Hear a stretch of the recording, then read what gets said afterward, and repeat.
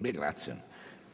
E soprattutto grazie a voi, mi fa impressione. Cioè, no, io so che i toscani mi vogliono bene, il Valdarno in modo particolare sarà per via del fiume, cioè della lingua, poi del fatto che chiunque si scriva qua deve sciacquare i panni. È difficile sciacquarli qua nell'Arno, eh? c'è un po' poca acqua, ma psicologicamente rimane comunque un luogo centrale del nostro modo espressivo. Sì, in fondo noi siamo la civiltà del libro è divertente, curioso e intrigante l'annuncio che ha fatto Newsweek, l'avrete sentito sulle televisioni, che eh, dall'inizio dell'anno prossimo, 2013, Newsweek appare solo su tablet. Perché dicono così si risparmia la carta, è anche ecologico, non si tagliano gli alberi, noi risparmiamo un fracco di denaro, licenziamo un po' di persone, che fa sempre piacere agli americani, e, eh, e durere, vivremo su, eh, su tablet. Fra 120 anni uno che tornasse in casa mia dove non si butta praticamente niente troverà ancora dei vecchi numeri dell'Espresso un po' incolati insieme, ma alcuni sì, alcuni no, e se uno ha curiosità potrà vedere la faccia di Silvio Berlusconi nel momento del suo decadimento finale, il che sarà un monito per le generazioni successive. 100, 150 anni uno che trovasse una casa analoga alla mia in fondo alla pianura americana troverà un tablet, tenterà di schiacciare e non riuscirà più a farlo funzionare perché non ci sarà più l'emittente. Troverà forse una memoria, ma la memoria non avrà più il codice di passaggio sul eh, nuovo eh, lettore che lui avrà. La memoria sarà cancellata. Noi esistiamo in quanto abbiamo una memoria legata al libro. E voi poi in questa zona qua vi tocca anche in modo particolare, perché non lontano da qua è nato Poggio Bracciolini, no? ne parleremo dopo sua, eh, del ruolo che lui gioca. Noi siamo la civiltà del libro. Attenzione, lo siamo in un modo particolare, non siamo la civiltà della scrittura, o la civiltà della lettera. La civiltà della lettera è quella che nasce sostanzialmente quando si inventa finalmente l'alfabeto fenicio per rendere felici i ragionieri, nel senso che la scrittura di prima era talmente complessa, quella cuneiforme, che o uno faceva il sacerdote da 18 anni o non riusciva né a leggere né a scrivere correttamente. Oppure quello che conosciamo del lineare B greco non se ne sa quasi nulla, si forma l'alfabeto ad un certo punto e anche abbastanza recentemente, nel, tra il X e il IX secolo, quei famosi segni, il bovino che fa la alfa, eh, quello che poi diventerà la cultura duplice, da un lato emigra verso la vera cultura della lettera, che è quella ebraica, per cui Dio segna la lettera nel cielo, e quell'altra che è quella greca in cui diventa l'alfabeto greco da quale discendono poi tutti i nostri fino a quello che troviamo anche oggi a comprare il giornale quotidiano. Dalla lettera nascono dei modi di concepire, ma non ancora i libri. Il rotolo storico, il papiro che circola, contengono in sé una grande libertà comportamentale. Gli unici attenti che si pongono la questione in modo severo sono i maniaci della lettera, non del libro, cioè il mondo ebraico. La Torah nasce su un rotolo definito e preciso e viene arrotolato, incolato un pezzo all'altro, perché incolando un pezzo all'altro alla fine non si può cambiare il testo. La Torah viene conservata in sinagoga per la lettura e quando perde una lettera, il giorno in cui una lettera scritta in uno dei testi qualsiasi del, de, de, de, dei testi divini, quando perde una lettera viene buttata via, viene sostituita con una nuova Torah scritta nuova. La lettera non va mai persa nel mondo ebraico, ma ancora non è un libro, è un rotolo. La faccenda dei libri comincia a nascere più o meno per un motivo banale per non fregare la possibilità di precisare fino in fondo un testo amministrativo. Curiosamente uno dei primi inventori di libri è Giulio Cesare, che negli atti senatoriali comincia a chiedere che i fogli siano numerati e rilegati, per evitare il trucco che avviene anche, che adesso non avviene più, ma anche nelle amministrazioni pubbliche, c'era quello che infilava una delibera fra le altre e tentava di farla passare. Con questo sistema il libro diventa libro, si forma per la prima volta questo apparato diverso dal rotolo, diverso dal foglio libero, che è la, co la cosa non ancora rilegata, la cosa chiusa ma numerata. Diventerà fondamentale per la cristianità. Cioè il grande dibattito che si articola dopo il concilio di Nicea è un dibattito attorno ai testi e avviene per un motivo politico.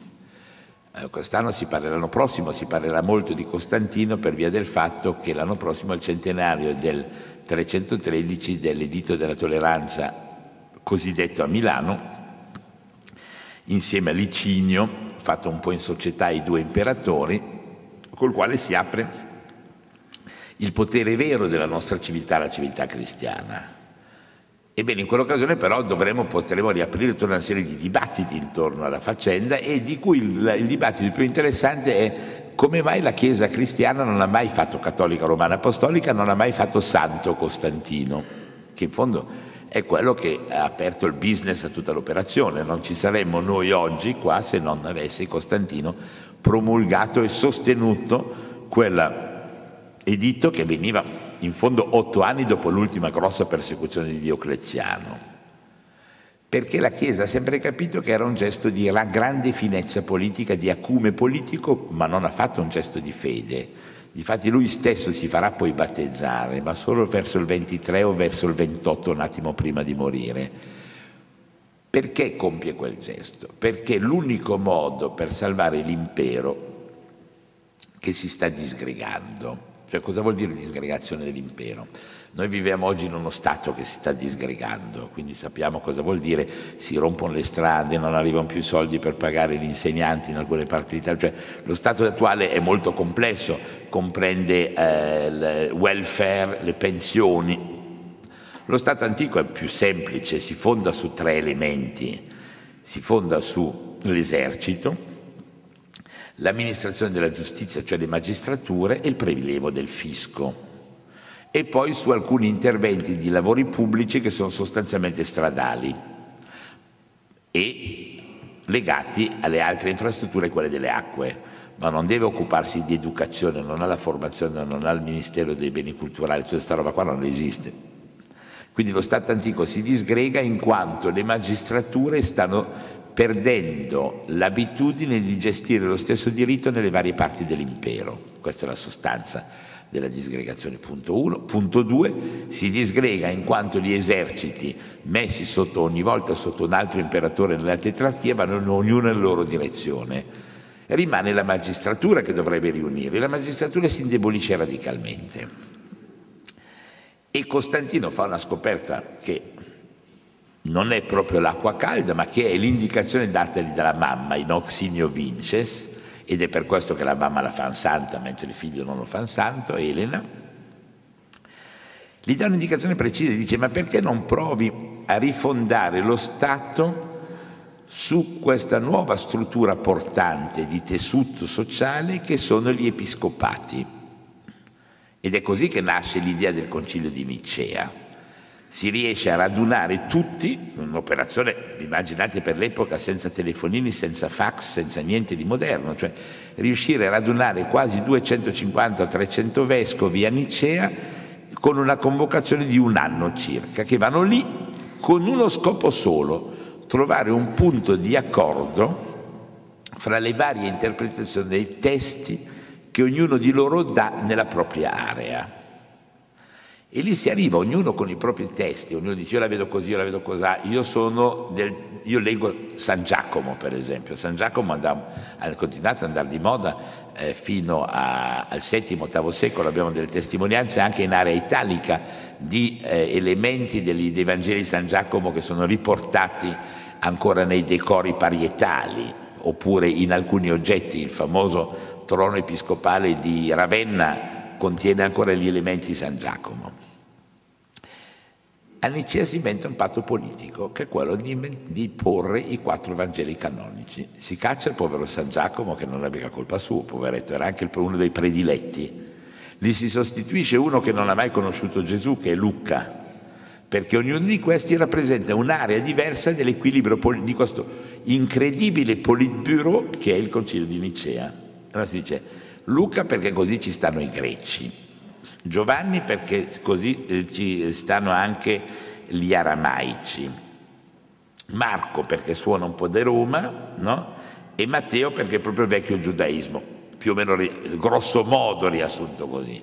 Gli altri tutti fuori, perché sugli altri si formerebbe un dibattito irrisolvibile fra le aree di Bisanzio e le aree per esempio del sud della Spagna, fra le aree di Alessandria e le aree di Aquileia. È un patto sociale. Fatto il patto sociale bisogna determinare una questione precisa. Nessuno cambierà mai più questi testi. In quel momento il libro diventa il fondamento della mutazione della civiltà alla quale noi apparteniamo ancora oggi. Vengono presi i testi, vengono messi l'uno dopo l'altro, gli si prende una bella placchetta che poi nel Medioevo si decorerà in un modo mirabile, la si chiude definitivamente e da lì non esce più una parola e non viene aggiunta una parola. È nato il libro. Questo concetto del nato libro lo, lo, rendo un po' in modo anche un po' eh, caricaturale, ma corrisponde oggettivamente alla verità storica, diventerà un dato stabile della cultura dell'Alto Medioevo, della decadenza dell'impero e poi dell'Alto Medioevo. A tal punto che quando decade l'impero quasi definitivamente, all'inizio del VI secolo a Giustiniano torna lo stesso problema. Giustiniano è riuscito per un attimo a ricomporre la macchina amministrativa rotta e dice qui bisogna rifare la legge, l'unica soluzione è rifare la legge, dobbiamo trovare una norma sulla quale ci troviamo d'accordo. Quello che fu l'accordo interreligioso cristiano di Costantino diventa un accordo normativo per, eh, per Giustiniano. Giustiniano rifà la norma giustiniana che noi portiamo ancora come eredità addirittura fino al mondo d'oggi anche questa verrà sancita in una serie di testi stabili, chiusi, i quali a loro volta, come esattamente le norme giuridiche di oggi, dovranno essere arricchiti con, le, con i codicili interpretativi, come oggi quando passa una legge, senza i regolamenti non si riesce manco a applicarla. Il testo base, tra l'altro è divertente questa cosa, il testo base, lui per segnare la sua volontà di tenere in piedi lo Stato è in latino. Le novelle interpretative sono le prime sette in latino e l'ottava c'è una premessa che dice qui il latino non lo parla più nessuno, se non la scriviamo in greco non la capisce nessuno. Noi pensiamo che il latino fosse la lingua dell'antichità nella decadenza, non è vero. Eh, la lingua di chi era colto, di chi leggeva e anche dei cristiani era ormai il greco diffuso ovunque si scrivono le novelle in greco e si rimettono anche quelle. Abbiamo da quel momento in poi una serie di dati stabili di quello che sarà il nostro mondo definitivo del libro, non ne usciremo più. Noi da quel momento siamo i figli del libro. E questo essere figli del libro avrà una curiosa conseguenza in un paese, l'Italia, che poi è quello, uno di quelli che legge meno di tutti oggi. È interessante anche capire come mai da allora abbiamo avuto questo passaggio a non leggere più. Fondamentale la questione. Il passaggio da noi avviene quando tutti questi testi, più le novelle interpretative, più tutti i codici, codicilli, regolamenti locali, regolamenti regionali, vengono nella parte occidentale dell'impero adunate attorno all'esarcato di Ravenna.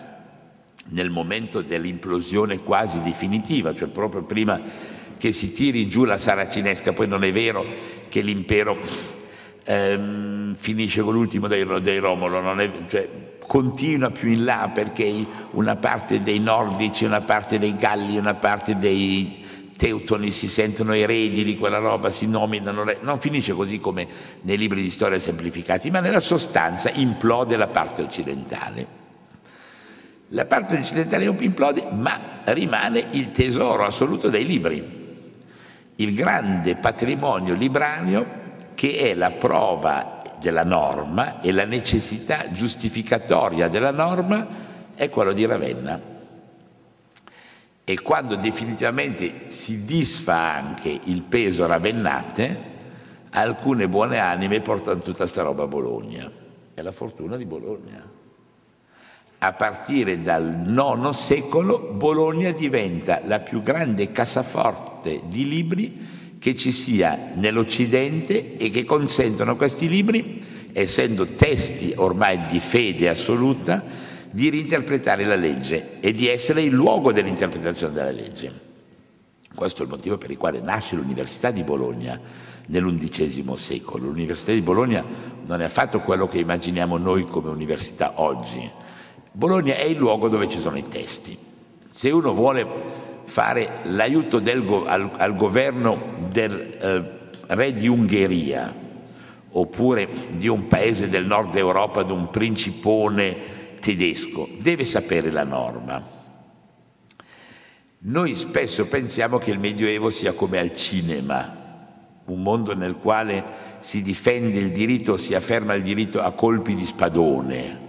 È nulla di più sbagliato. Il Medioevo, essendo uno dei momenti di massima fede e di massima paura anche per l'arrivo immediato della Gerusalemme celeste, cioè gli uomini fino al mille sono convinti che l'anno dopo il mondo finisca, cioè hanno cominciato a crederci nel primo secolo, a furia di rinviarlo sono arrivati a, a, costantemente ad essere convinti che il mondo finisca, quindi la pura spiegazione delle armi non era affatto sufficiente a giustificare e legittimare il potere senza la legittimazione del libro il potere non poteva esistere. Chi interpretava il libro aveva in realtà potere pari a chi interpretava le armi, a chi portava le armi. Lo racconto con straordinaria precisione Jacques Le Goff quando dice che il fondo del Medioevo si basava inizialmente su questa dicotomia che era quella fra bellum e sacerdotium, cioè chi teneva lo spadone e chi teneva la fede.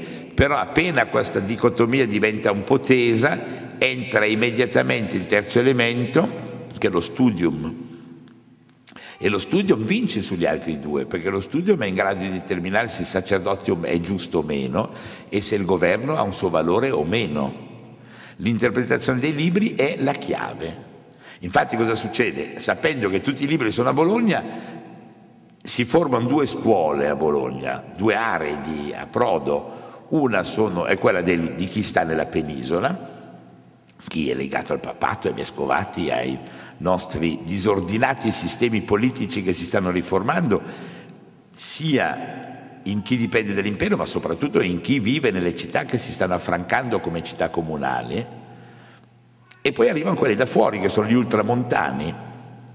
E gli uni come gli altri arrivano lì, sanno che ci sono i libri, affittano i professori, affittano dei signori come, adesso io non sarei all'altezza, ma vediamo che io fossi bravo, potrebbero affittarmi perché io gli spiegassi i testi che leggono.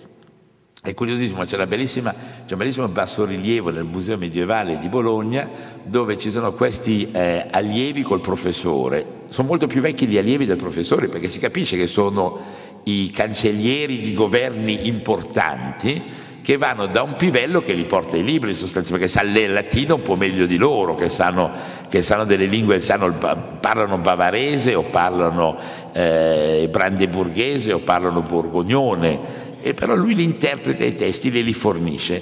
A tal punto, cosa assolutamente divertente, che il rector, quello che gestisce la comunità, di queste case prese in affitto dove 4 o 5 di questi signori potenti vengono ben curati con il loro professore affittato. Il rector è eletto dagli studenti, una roba da post 68 e sono due i rettori, uno per gli italiani perché vanno d'accordo fra di loro e uno per gli ultramontani perché devono andare d'accordo fra di loro, ma tutti e due sono lì con uno scopo preciso, farsi leggere il libro. E lì il libro subisce una folgorante trasformazione che è la trasformazione della glossa. Cioè siccome questi testi vanno interpretati, gli amanuensi che li producono, li producono già con una serie di pareri storici in nota. Per cui viene fuori questa pagina molto bella, un quadratino in mezzo, un testo abbastanza contenuto e intorno al testo tutte le glosse che spiegano il significato del libro. Stanno inventando internet, esattamente come adesso quando aprite la pagina internet e cliccate su un punto e l'altro. Alcuni dei libri più preziosi, più usati, più consultati dell'epoca hanno il testo, la glossa il commento del professore alla glossa, altra calligrafia ancora, e talvolta il commento del proprietario del libro. In questo incrocio di commenti, che vengono tutti disegnati benissimo, tra l'altro scritti benissimo, si forma questa sorta di comprensione, di complessità del sapere che è alla radice della nostra cultura medievale. Ed è assolutamente straordinario. Devo dire oggetti che non vanno via a basso prezzo a proposito, cioè, voi sapete che gli aretini non sono generosi, sono qua vicini, ma sono piuttosto attaccati alla spesa del denaro. Io ho avuto la fortuna di avere in mano il che è conservato l'Ambrosiana, ho avuto dei privilegi bizzarri nella vita, quello di toccare dei libri rarissimi. Eh, ho girato le pagine del, eh, del Virgilio di Petrarca. Lui aveva il suo Virgilio, l'aveva comprato, era del padre a dire la verità poi nel momento dell'eredità del padre fu venduto perché valeva un fracco di soldi, poi fu ricomprato da Petrarco quando divenne anche lui abbastanza eh, provvisto di denaro perché le cose gli andavano bene. Quel libro lì, che ha la controcopertina dipinta da Simone Martini, i testi sono un libro che avrà 300 pagine, è un oggetto che aveva un prezzo folgorante perché 300 pergamene perfette sono una selezione di pelli su 3.000 pecore. Cioè, non è che tutte le pecore siano perfette, c'è quella che è stata morsa da un insetto, c'è quella che si eh, avuto a che fare con un'altra pecora non particolarmente d'accordo, c'è quella che si è grattata contro l'albero. 300 fogli perfetti, più il lavoro degli amanuensi, più il decoro di Martini, è una roba come due Ferrari 740, non il 740, il F40, cioè il, a far avere al proprio figlio un libro di quell'importanza era folgorante. Infatti Petrarca, che era noto come uno degli uomini con la più grande biblioteca personale allora circolante, aveva 40 volumi. I 40 volumi viaggiavano con lui in una cassa che era più o meno grande come questo tavolo che esiste ancora nel museo di Arqua Petrarca, andava da un posto all'altro con i suoi libri. E questo si rappresenta il potere e il significato del libro nelle sue chiavi interpretative. Chi era in grado di leggerlo, chi era in grado di interpretarlo deteneva il potere. E la cosa è talmente importante che, per esempio, nei grandi dibattiti della politica con la quale si passa da un periodo abbastanza truce del XII secolo a quel periodo folgorante di ricchezza che fu il XIII, il famoso Dugento, il Dugento si apre con un dibattito intorno ai libri, perché Innocenzo III Papa, che è questo bizzarro personaggio che nasce ad Anagni, che come dicono a Roma, che se non te lo porti non mangi, no? è un posto abbastanza, dove il papato si era rifugiato per via dei pasticci della città di Roma del, del XII secolo, è figlio dei conti di Anagni, se ne va nell'università alternativa a Bologna, che è appena stata creata, che è quella di Parigi, e va a studiare a Parigi perché deve sapere i termini misti di dottrina teologica e di dottrina di diritto. Dopodiché gli viene affidato come tutore Federico II di Svevia, cioè quello che diventerà grande imperatore. E la battaglia per il passaggio della corona imperiale non sarà affatto, alcuni sconsiderati tenteranno un colpo di mano, due botte di spada e un disarcionato da cavallo, ma nella realtà delle cose la battaglia vera è una battaglia teorica giuridica. Cioè la teoria del diritto è la parte più importante per stabilire gli equilibri politici dell'Europa, cosa che poi riassume in un modo geniale pochi anni dopo, negli anni di Petrarca, Guglielmo da Occam, quelli, alcuni di voi lo conoscono, quello, famoso, quello del rasoio, detto così, no? adesso un po' riduttivo, non è quello del rasoio, è uno dei più grandi pensatori che rompe gran parte delle impostazioni eh, del pensiero scolastico del 200, quello di Tommaso, e lo riversa in chiave antidominicana presso i francescani. Ma lui alla fine, a metà del 200, quando scappa perché lo rincorrono, lo vogliono fare la festa ad Avignone, scappa sotto la protezione dell'imperatore con questa frase, tu defendas me, Gladio, ego defendam te, calamo. Cioè il mio calamo ti difende esattamente come la tua spada difende me. L'equilibrio si forma lì e tutto ciò è sempre legato a questo apparato particolare del testo consacrato attraverso il fatto che egli non è trasformabile, è vincolato, è quello lì ed è solo commentato. Allora il libro diventa una cosa estremamente intrigante e si capisce anche che si lavori in tutti i modi o per renderlo bellissimo o per renderlo diffusissimo. Sono le due strade opposte che raggiungeranno, devo dire la verità, l'apice della contraddizione negli anni 50 del 400, fra il 52 e il 55, perché avvengono due fatti opposti. Da un lato Borso d'Este decide che vuole la sua Bibbia, cioè i signori, eh, quelli che il mio amico Paolucci definisce Italia Gola d'Italia, no? i signori che vogliono copiare, vogliono darsi uno status e quindi vorrebbero essere eleganti come le biblioteche dei Vaticani vari oppure dei grandi monasteri, oppure dall'altro lato i grandi duchi eh, dell'area di Francia, del, del Limburgo e delle Germanie, girano con i propri libri che sono oggetti di una preziosità assoluta, decorati fino, il, fino nell'ultimo dettaglio, Borso d'Este chiede la Bibbia più bella che sia mai stata fatta. Ci lavorano 21 artisti per 7 anni, cioè chiede decorare 15-20 chiese come queste, cioè lui mette 15 chiese in un libro che si porta presso libro straordinario nelle decorazioni, dove tutte le mani si incrociano, che forma un immaginario addirittura più complesso dell'immaginario che noi ci proviene dalla pittura, perché quello lì ha la sua articolazione nella follia assoluta ed è parente stretto, parallelo o alternativo ai grandi libri francesi, quelli dei fratelli di Limburg, quelli eh, dei primi eh, dei, dei, primi grandi che passeranno poi alla pittura come Van Eyck, no? i due fratelli Van Eyck lavorano prima in quel campo lì, poi finché non arriva un borghese che dice a me non frega nulla di queste sciccherie da portare appresso, fammi una cosa stabile, poi io faccio il borgomastro, faccio mica il duca e nasce l'anello mistico di Gon, cioè primo grande quadro nostro. Ma prima tutto questo culto dell'estetica perfetta sta nel libro. Però contemporaneamente questo cruco tremendo del Gutenberg inventa l'opposto, stampa la Bibbia.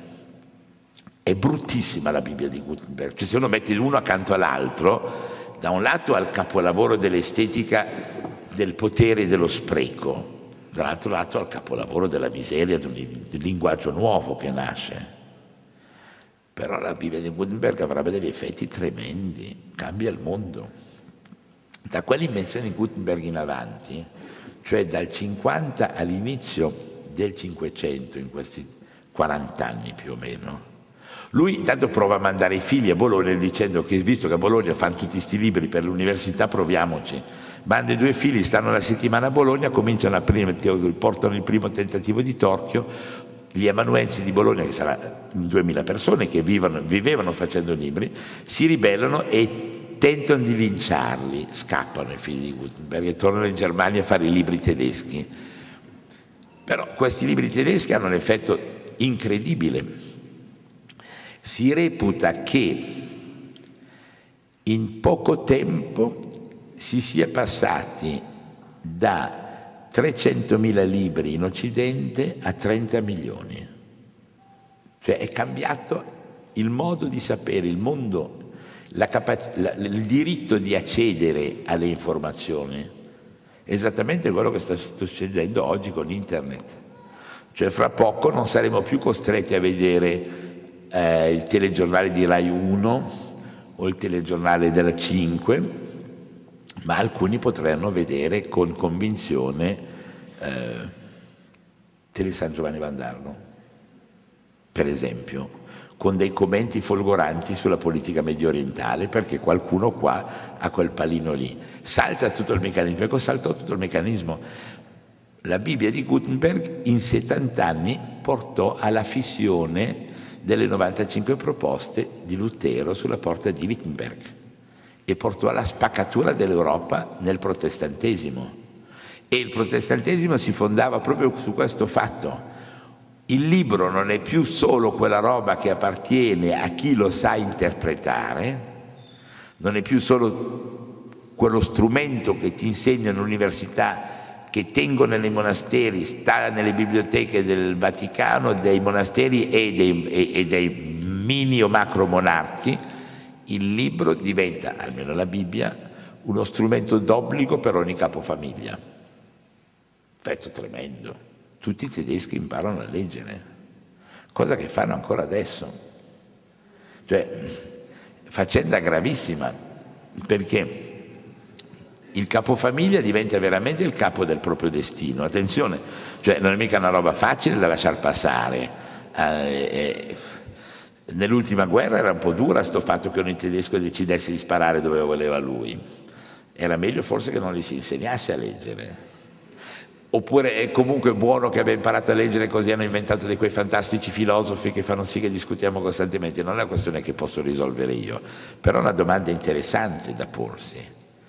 Certo è che la Chiesa romana, apostolica e cattolica capì che il pericolo era terribile e inventò il Concilio di Trento.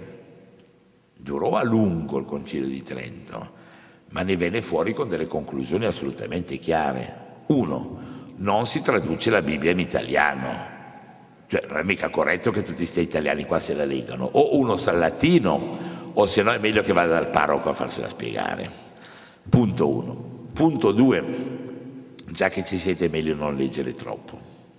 E questo devo dire che gli italiani l'indicazione l'hanno seguita da allora fino ad oggi.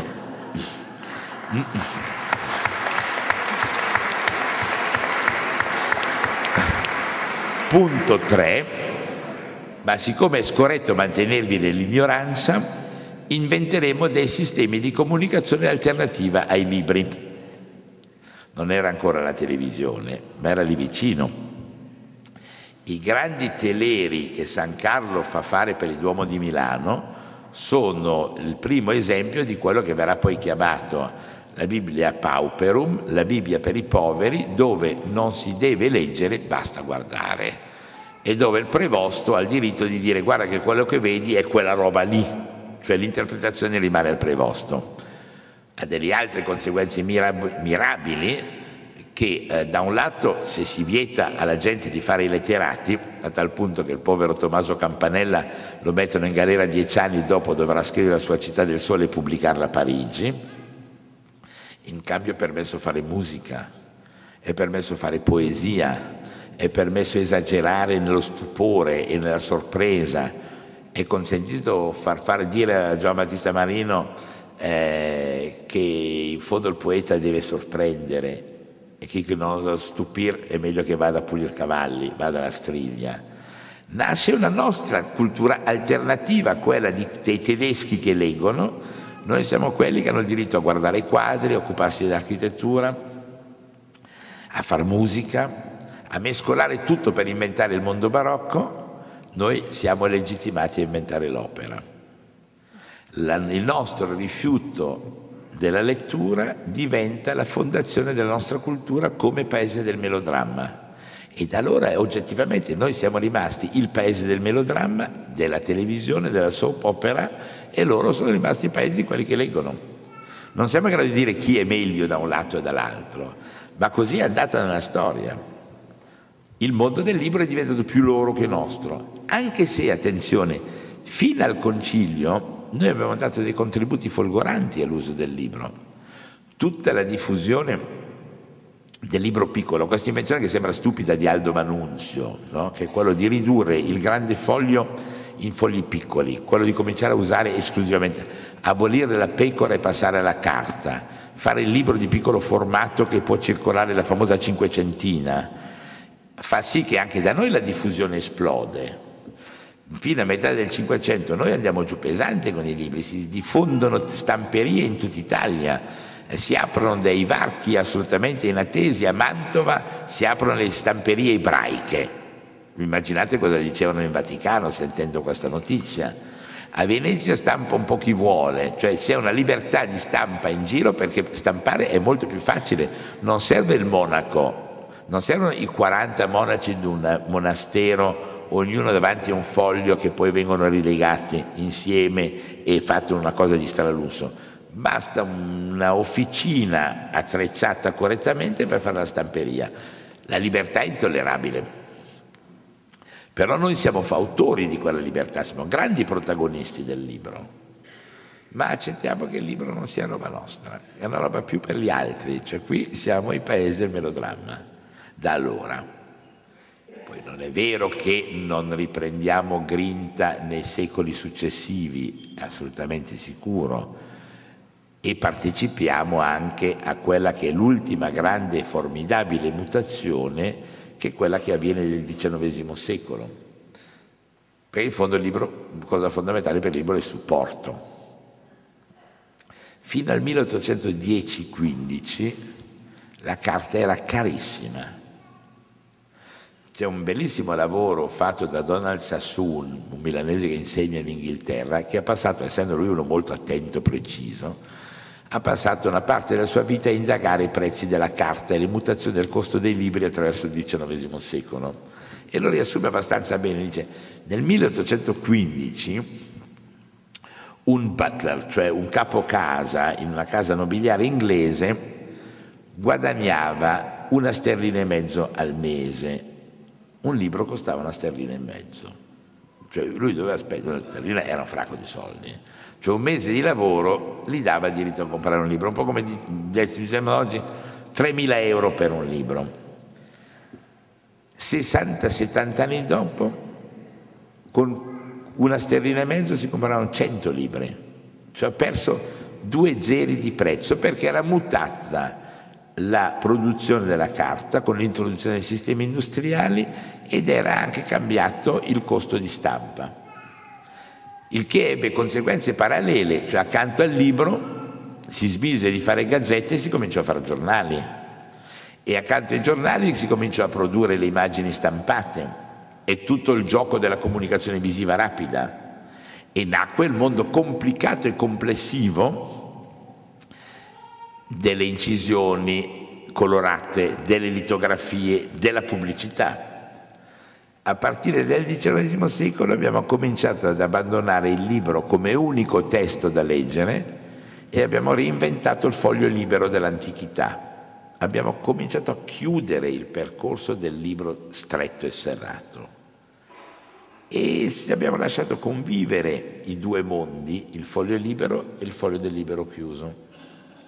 E poi oggi siamo arrivati a, al tablet. Questo mi serve per ragionare sul tablet. Non mi fa paura.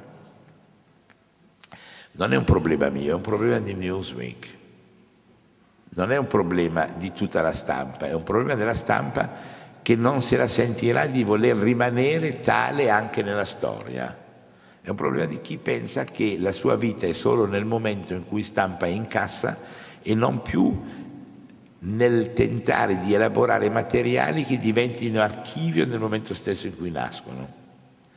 Sicché il domani sarà semplicemente come è stato l'ultimo secolo Così come l'arrivo della carta libera non ha affatto fatto morire il libro, l'arrivo del tablet non farà morire né la carta libera né il libro. L'unico vantaggio che ne trarremo è che nel 1805 forse un butler su 200 comprava un libro, nel 1890 tutti lo facevano, anche il cameriere capo di Sherlock Holmes, come dice il dottor Watson, oggi molta più gente legge e domani se aumentiamo ulteriormente la diffusione la lettura non calerà, la lettura crescerà. Allora, in una città come la vostra, questo ragionamento dovrebbe generare delle eccitazioni trasversali. In fondo, Poggio Bracciolini a me è abbastanza simpatico, non è nato proprio qua, ma qui nei dintorni. Mm? Eh? Sì, esatto, lì è, è lì accanto. Marsilio Ficino neanche lui, ma è nei dintorni. Voi avete qua di zona, Ficino faceva figlio del medico di Cosimo il Vecchio e si diede a fare medicina anche lui, ma soprattutto a fare il maniaco traduttore dal greco. E senza di lui non avremmo avuto l'espansione così rapida della cultura neoplatonica. Poggio Bracciolini mi interessa di più perché è più nella categoria del furbacchione. non ho mai capito se ci faceva o c'era. Mm? In sé una roba, una figura, una di quelle belle figure ambigue e come tali più interessanti delle altre, perché uno che riesce a infilarsi nelle grazie del papato in un momento particolarmente complicato quando fra Costanza e Basilea e nei due concili c'erano addirittura tre papi contemporaneamente, uno per i tedeschi, uno per i francesi, uno per i cardinali. Mm? si infila in quel percorso lì, diventa amico di quelli più, che contano di più, diventa amico di, de, de, dell'Enea Silvio Piccolomini, torna con una cosa che invece di lui apprezzo molto, con una difesa sentimentale di Jan Hus e degli altri eretici bruciati, in cui dice io li ho visti a mio parere a gente che aveva le palle, scusate il termine tecnico, non ha scritto così, ma più o meno il senso della lettera sua è questa ho assistito ai processi e ho incontrato persone di altissima fierezza e di grande correttezza intellettuale, che già mi fa molto simpatico Bracciolini. Ma la parte più divertente del suo mestiere è che lui girava l'Europa per conto della Repubblica Fiorentina e in modo particolare per conto del vecchio Cosimo e comperava i libri che mancavano a Firenze. Andava a San Gallo piuttosto che a Cluny corrompeva i monaci, gli offriva dei danari infiniti per accrescere le biblioteche, perché partecipava a un mondo che tuttora torna ad essere per noi un mondo incredibilmente significativo. Io ogni tanto dico, eh, quando sono davanti a un'assemblea del genere, dico, a me c'è un uomo politico che mi piace molto e tutti si spaventano dico sta a Firenze, dico si preoccupano, per ancora di più tutti quelli bersali, dico è Cosimo il vecchio e tutti si rilassano. Però Cosimo Vecchio è realmente esemplare. Lui eredita dal padre tre libri, che erano tre libri di preghiera, e quando muore lascia a Firenze 10.000 libri in quegli anni lì una quantità incredibile, se pensate che un secolo prima Petrarca ne aveva 40. Lui si fa ripagare il prestito fatto alla corona d'Ungheria invece che in denaro, tanto l'avevano finito, facendosi mandare la biblioteca ungherese a Firenze. Lui è convinto che possedere i grandi testi sia fondamentale per fare una grande politica. E porca miseria, quando lui riesce più o meno ad evitare che lo facciano fuori, quando, dopo appena tornato da, eh, da, Venezia negli anni 30, e riesce a far fuori invece i suoi, i suoi, il gruppo del bancario opposto al suo, quello degli strozzi, si lancia su questi investimenti perché capisce che lì è il business. Lui è il primo che capisce che comprare libri, occuparsi di cultura, investire in cultura è uno dei meccanismi per arricchire la sua città, quindi il suo governo. E nel giro di vent'anni trasforma Firenze, che non era affatto in una posizione preeminente, nella più grande potenza finanziaria d'Europa. A questo anche servono i libri. E questo noi dovremmo diffonderlo molto nella cultura quotidiana. Sono contento di avere un sindaco a disposizione ma a tanti sindaci vorrei farlo sentire questo discorso, vorrei far sentire anche ogni tanto un ministro, un assessore regionale, cioè tutti quelli che si occupano dell'argomento perché si rendono conto che oggettivamente per noi avere ritrovato a San Gallo forse il Vitruvio è stato fondamentale per fare una parte dell'architettura del Cinquecento. Aver ritrovato i libri di medicina è stato fondamentale per fare un balzo incredibile alla sanità aver trovato i libri in generale che parlavano di estetica ci ha permesso di entrare in competizione con Bruges e vincere la competizione con Bruges. Allora, sotto il segno sacro eh, del vecchio Cosimo, forse continuare a insistere nelle nostre biblioteche, nei nostri luoghi di sapere, nell'accumulo, non è cosa sbagliata e se voi lo fate vi faccio complimenti.